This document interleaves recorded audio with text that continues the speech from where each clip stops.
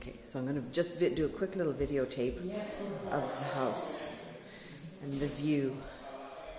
This is the view out the back. Isn't that nice?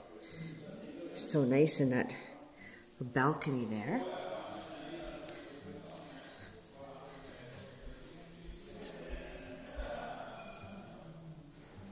That's the backyard. And that's a nice view. You can see the church from there. Not my church, but it's still a church, which is nice.